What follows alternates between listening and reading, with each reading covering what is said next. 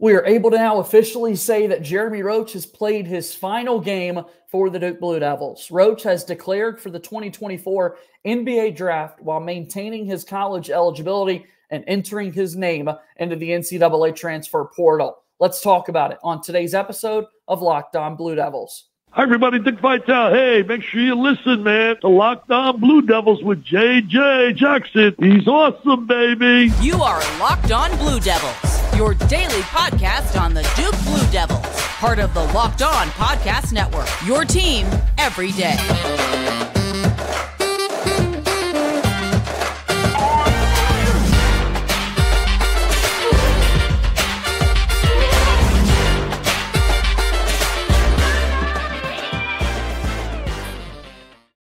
Hello, everybody, and welcome into another episode of the Locked On Blue Devils podcast. My name is JJ Jackson. It is so great to have you here with us on Wednesday, April 17th, 2024. Locked On Blue Devils is your one stop shop to discuss everything going on in the life of Duke athletics. And we talk a whole lot about Duke men's basketball. The big news of the day that we're discussing is Jeremy Roach's decision to enter the NBA draft, maintaining his college eligibility and entering the NCAA transfer portal. That full conversation with our good pal Kevin Connelly, who's the site expert for Ball Durham. We're going to have our scholarship outlook to share you all with you all on today's show, and it's going to be a whole lot of fun. If you have not done so already, please be sure to follow and subscribe to Locked On Blue Devils for free wherever it is that you get your podcasts. Also, make sure that you leave us a five star rating and written review on the Apple Podcast platform. Does a whole lot of good for the algorithms. If you're an everydayer on the program, let me know. Comment down below that you're an everydayer on this program.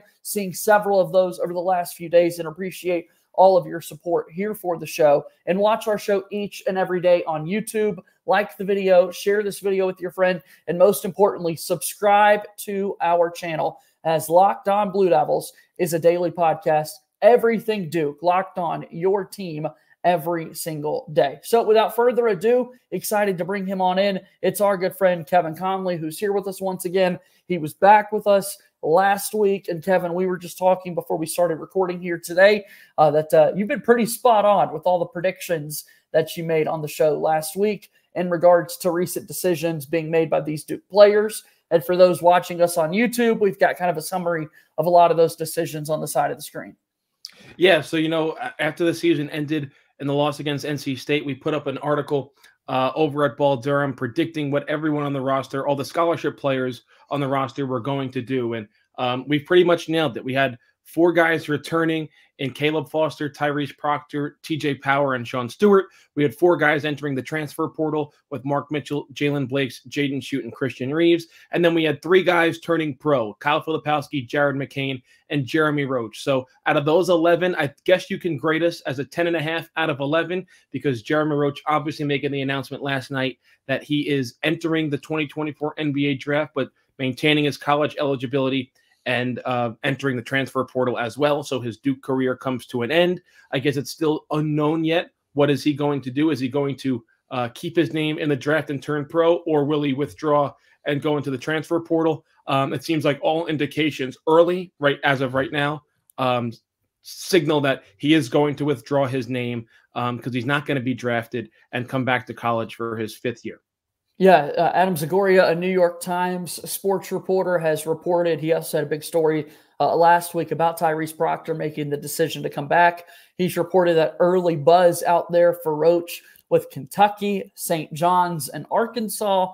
Obviously, Kentucky would be really strange for Duke fans to see. And also, let's remember we play Kentucky in the Champions Classic in this upcoming college basketball season. Kind of fine with Roach going to any of those other schools listed. But uh, yeah, something about him wearing that Kentucky uniform wouldn't sit too well with many Duke fans, and it would just be kind of weird to see. Well, yeah, I can confirm the interest in uh, between St. John's and Jeremy Roach in his camp as well. And don't forget, um, Duke could also play Arkansas next year as well in Cameron Indoor Stadium in a return game in the ACC SEC Challenge. And um, for a little bit of time there, although talks have fallen apart, um, there was a conversation that Duke was going to play St. John's next season in New York in Arthur Ashe Stadium, where they host uh, the U.S. Tennis Championships, the U.S. Open Tennis Championship. But those talks have fallen through, so it doesn't look like that look, look like that game is going to happen. But um, yeah, it's going to be interesting to see where Jeremy Roach lands. Perhaps uh, he will get a chance to play Duke next year if he were to land at Kentucky or even at Arkansas if they get a rematch in the ACC SEC Challenge. Yeah, because you that you bring up that point itself in the in the kind of St. John's rumors there. Because yeah, if he goes to one of those three schools, there is the real possibility that you're going to see them go head to head. I know for North Carolina, they're thinking a lot about Caleb Love, uh, who played for them for three seasons. Obviously, helped lead the Tar Heels to that national title game in Coach K's final season.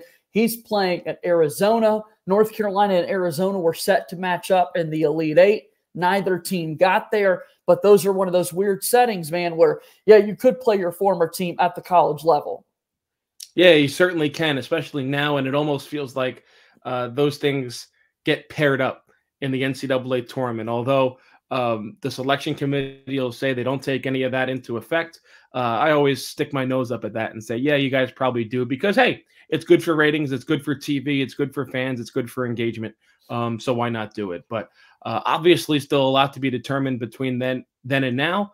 Um, but for Jeremy Roach, I think if he ever does play Duke, um, and say it does happen at a Cameron Indoor Stadium, and he does go to an Arkansas or something like that, I think he'll get um, a much deserved standing, multiple minute standing ovation uh, from the Duke faithful. Jeremy Roach announced in his post, he said, quote, Duke Nation, thank you for a special four years. My experience at Duke has been unforgettable and made me a better person, leader, and player. To Coach K, Coach Scheyer, and all of my other coaches, teammates, manager, and support staff, thank you for believing in me, pushing me, and helping me become the best version of myself. I am forever grateful to be part of the brotherhood. To the Cameron Crazies, thank you for making Duke a special place to play. Some of the best memories of my life are because of you all, so thank you. With that being said, I'll be declaring for the 2024 NBA draft while maintaining my college eligibility and entering the transfer portal. Thank you again for everything. I'll always be a Blue Devil, and I'm so grateful to have been able to call Duke home for the last four years. End quote. That is signed Jeremy Roach. Germ as uh, the Duke social media staff was known to call him over the years, a two time captain for this Duke basketball team. How do you think we got to this decision, Kevin? Well, it's it's complicated because um, I think you can make the argument that no player experienced more variety in their seasons than Jeremy Roach has over the course of four years at Duke, right? Well said. Yeah.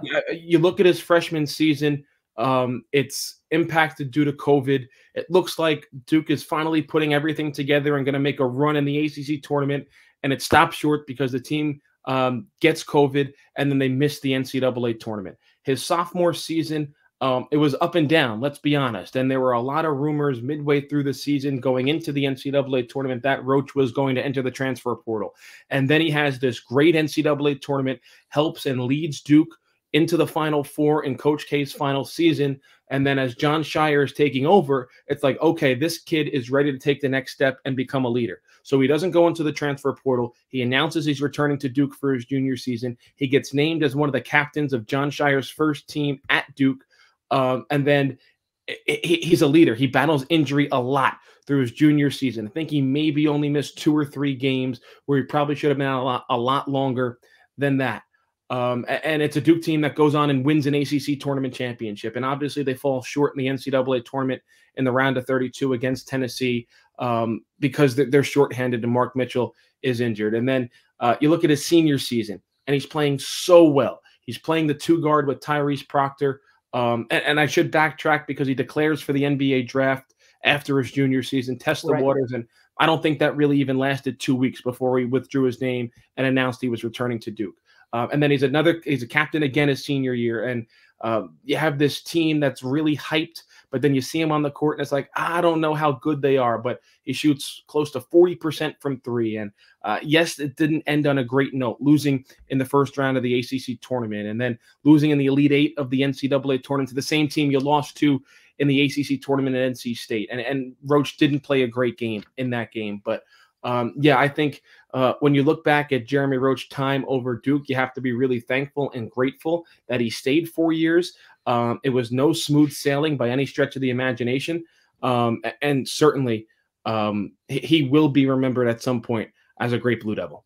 averaged 14 points this past season on way to an all ACC campaign. So, really good stuff from Mr. Roach. Let's take our first time out of today's show. And when we come back, we'll talk a little bit more about the future of the Duke basketball team now that we know another player decision going into next season.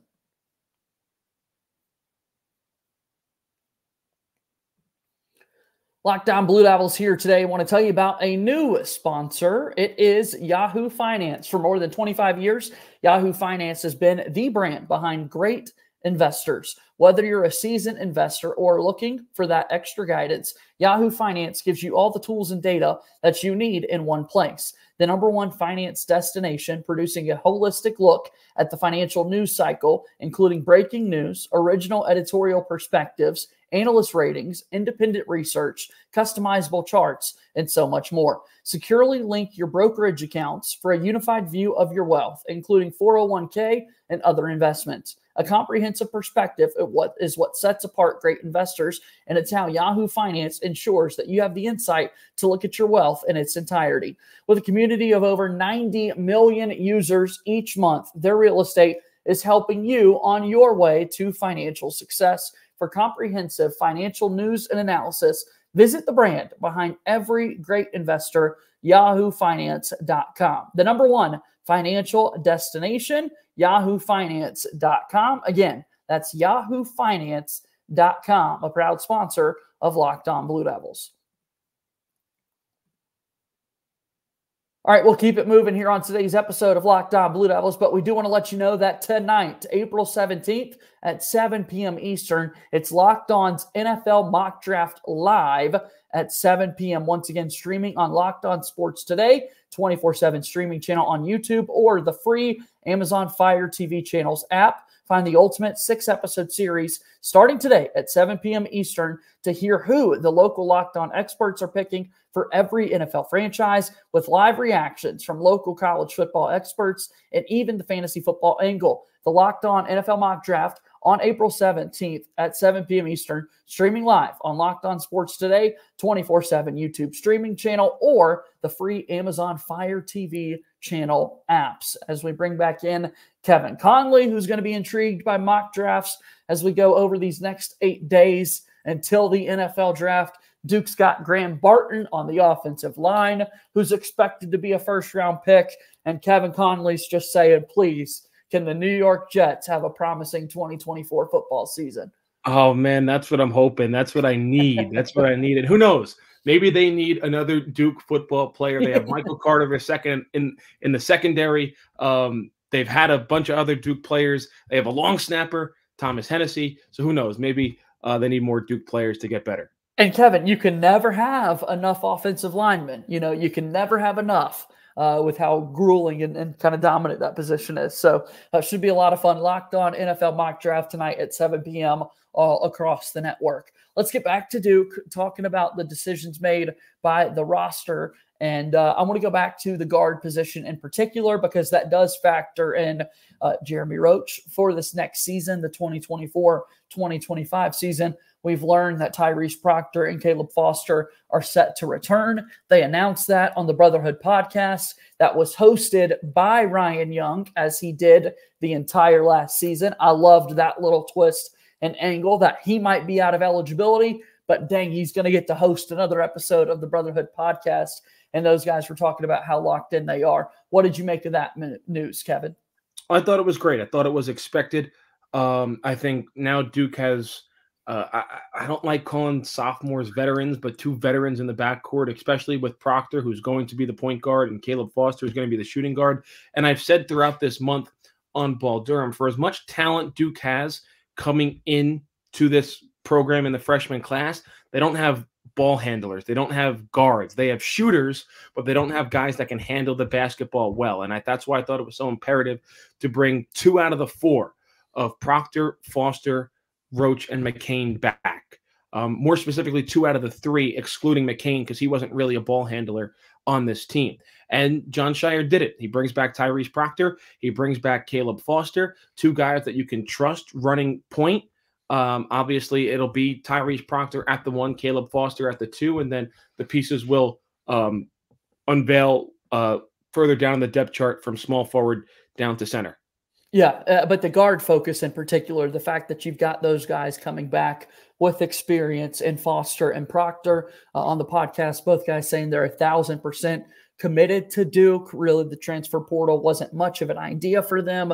Uh, Proctor talking about uh, he'll go back home to Australia for mm-hmm. about a month or so before he returns back uh, for the summer basketball program. Caleb Foster seems like he's going to be in Durham a little bit longer, starting his rehab, continuing his rehab fully from that foot injury uh, that he suffered at the end of the season and had a successful surgery. On the defensive end of the floor, too, so many people want to talk about kind of the struggles offensively in that game that Duke had against NC State in the Elite Eight, going 0 for 9. But I mean, how about the work that Tyrese Proctor put in defensively in that matchup against Houston? And when you've got a team that's going to be filled with a lot of younger guys like Duke's bringing in in the freshmen, you have got to commit yourself to having a lot of pride on the defensive end of the floor. And next season, unlike the previous few, when we've been talking a lot about the experience at the back end, I think we're going to need the guard play on the defense to really be impressive as well. Well, yeah, I mean, look at the biggest thing that wins in March is its guards, right? And Duke is going to have a guard that they trust and they're going to rely on in Tyrese Proctor, who can play both sides of the basketball. And I think that is huge. Um, you mentioned, look at the last play of the game against Houston. Tyrese Proctor was there with the defensive stop. His defense had been great throughout the season when he had been on the court. So, yeah, I think he's almost a perfect leader. You'd imagine he's going to be a captain once again. Maybe he's the only captain on this Duke team. I don't know if Caleb Foster will be named as a captain um, as a sophomore. The same thing goes with Sean Stewart or TJ Power. I doubt that they do end up being named captains as a sophomore. Although Tyrese Proctor was a right, captain, that's what I was going to say. Yep. as a sophomore, you don't know that. So um, definitely Proctor will be a captain as a junior. Um, I don't think a transfer they're going to bring in gets named captain right away. So um, he's he's the leader. He's going to step into the shoes that Quinn Cook and Jeremy Roach had. And can he live up to those standards? Uh, we're going to find out in about six, seven months. The Duke basketball team led the ACC in three point shooting. They were one of the top teams in the entire country uh, in three point shooting as well. These two guards in the backcourt weren't the best of shooters, right? We're thinking of Roach at the 40% mark. We're thinking of Jared McCain and how great he was. But Foster and Proctor can knock him down from the outside, and we're going to need that again next year. Well, Proctor has the potential, right? He's been so inconsistent with his shot, but it's really surprising. It goes very much under the radar. Caleb Foster was a 40% three point shooter, too. Like yeah. it, it, goes like. A lot of, yeah, a lot of people don't really realize that, don't really um, know that. But Caleb Foster was a 40% three point shooter. And I think he gets forgotten because he wasn't on the floor the last four weeks of the season or so. Getting hurt in late February against Wake Forest and then not playing again, I think a lot of people forgot about how good he was when he was on the floor. And I did. Yeah. and, and, I think those shooting um, numbers in terms of like the amount of shots he takes are probably going to go up a little bit. Um, just playing more minutes and probably starting every game now. Um, you know, I mean, Cooper Flagg's going to demand a lot of shots as well. Um, you go down the recruiting class, Darren Harris, elite shooter. Um, can he get on the floor as well and shoot? So um, it's going to be interesting the shot distribution that Duke has next season. But Caleb Foster, yeah, he's going to be right at the top of the line of those great Duke shooters next season. So, what does the rest of the roster look like for the Duke basketball team? We're going to have that conversation and discuss a little bit more. We're going to give you the scholarship outlook that you all love so much. I've posted it on Twitter the last few days, but it's been updated with Jeremy Roach's decision. So we'll take a look at that and a whole lot more when we come back here on Locked On Blue Devils. All right, Locked On Blue Devils here today.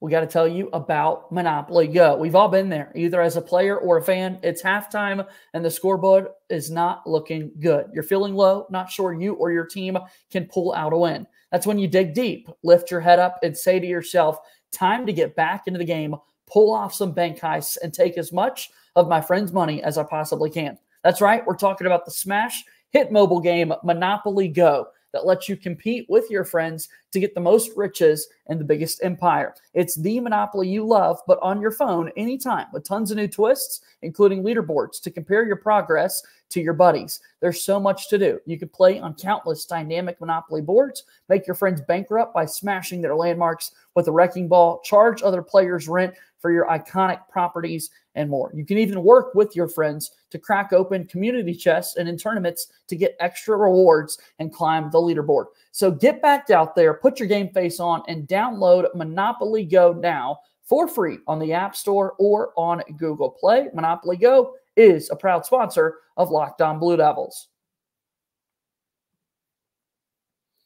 Let's keep it moving here on today's episode of Locked On Blue Devils. I'm JJ Jackson, joined today by Kevin Connelly, who's the site expert for Ball Durham. He's on X at Kevin Connelly 24. Tell us a little bit about Ball Durham as well, Kevin. Everything you could possibly want on balldurham.com about this Duke basketball off season. Um, obviously, recapping what's happening in terms of the current roster movement, transfer portal additions, um, everything you could possibly want. NBA playoffs started last night. Um, Zion Williamson injured after scoring 40 points against the Los Angeles Lakers. And I think the Pelicans now have to play again on Thursday and needing to win that game in order to make the NBA playoffs. So, yeah, Friday um, they'll be playing. Yep. Friday. Yep. So, we're all over that story as well. Um, so, yeah, we got a ton uh, of stuff over there at Ball Durham. Go check it out. It's a lot of good stuff. Uh, you mentioned the NBA playoffs. You mentioned the roster for this season, what also is set to happen. And you're so good over at Ball Durham. We're about to have some major high school basketball recruiting circuits pick up. And right now, there are no commitments in the class of 2025, as folks can see on our scholarship chart here. So excited to see the next Blue Devils. Hopefully, we can get a commitment from the Boozer twins and get off running there uh, with the Duke basketball team. But with that being said, we look at the scholarship layout, and now that Jeremy Roach will not use his COVID year of eligibility at Duke, we look at the situation here and following Jaden Schutt, Jaylen Blake's, Christian Reeves, Mark Mitchell's decision to not return and enter the portal, along with McCain and Filipowski, who had eligibility from this last year's team. Duke's got three open scholarship spots. What do you see when you look at all of this, Kevin? Well, what I see in terms of next year's roster is they do need to add another guard that can handle the ball and is willing to come off the bench. I think that's really important because yes, Proctor and Foster can handle the basketball, but they need somebody else that can be willing to come off the bench, provide them anywhere between 10 to 15 minutes per game, and just give those guys a little bit of a break and be confident with them um, running the offense and handling the basketball. I think that is a, a priority. Another priority, I think, is a center. Um, again, I'm sorry, I'm going to butcher his name. I'll get these names all down when we get closer to the season. But uh, on, Maluk. Uh, I know I said that wrong, but um, this is a projected top three center, but he's still very raw. He has a lot to learn. He really just started playing basketball. He has all the things you can't teach. He has size, he has length, he can nearly dunk the basketball without even jumping. So he I think would be your starting center, very comparable to Dereck Lively. Dereck Lively, who uh, probably was a little bit more developed offensively coming into Duke, but he was that defensive anchor, can block shots, um, has to learn how to rotate and all that stuff. But I think Duke wants to add, should add a veteran center behind him, bigger than Ryan Young, but a Ryan Young type that is comfortable coming off the bench, being a leader, but not playing 27 minutes a game. And then I think the other uh, other spot has to be a, a player like a, a, a, wing, somebody that can play the three, somebody that can play the four, someone that's not afraid to stick their nose in the paint and rebound um, and do a really good job defending. Because, like we said earlier in the show, Proctor, Foster, um, Flagg, they're going to command a lot of shots in a game. So Duke doesn't need somebody else that can uh, that wants a lot of shots. They want one of those glue guys, those dirty guys who you're not going to, nothing's going to pop out to you uh, in the box score, but you're going to see that he blocked two shots, grabbed eight rebounds, and scored four points. And that's a perfect night for that specific player. So I think those are the three things Duke should really prioritize going into the transfer portal to fill these final three scholarship spots. Uh, and then obviously you're, you're hoping for uh, the next step from guys currently on the roster, like a Sean Stewart. Can Sean Stewart be that type of player that Duke is looking for that can block shots and rebound and run the floor and spread things out. Um, Patrick Ngongba, I was very impressed with him at Chipotle Nationals. Hadn't played throughout the entire season. Um, had foot surgery, came back for Chipotle Nationals, and in the three games that Paul the Six played, got better and better and better. Now he didn't play at the Nike Hoop Summit out of precaution, doesn't want to overdo things. I don't think he's going to play at the Jordan Brand Classic in Brooklyn this weekend either.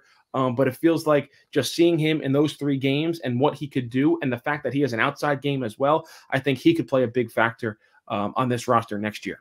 Without a doubt, I think the other thing to add in in, in regards to beyond the positions, one to your point, glue guys I think would be so huge with just the talent that Duke already has on next year's roster. If they can knock down outside shots at a good clip, that's really going to help uh, when you're talking about a team that, you know, shooting in March really helps you kind of win those championships and get over. You don't want to be kind of a, a negative on the offensive end of the floor too much. But then, even beyond that, Kevin, let's look at the color code here on our scholarship outlook as well. Just some level of seniority, maturity, I think could really benefit this Duke team as well because there are a lot of young guys coming into this locker room who do not have much college basketball experience at all.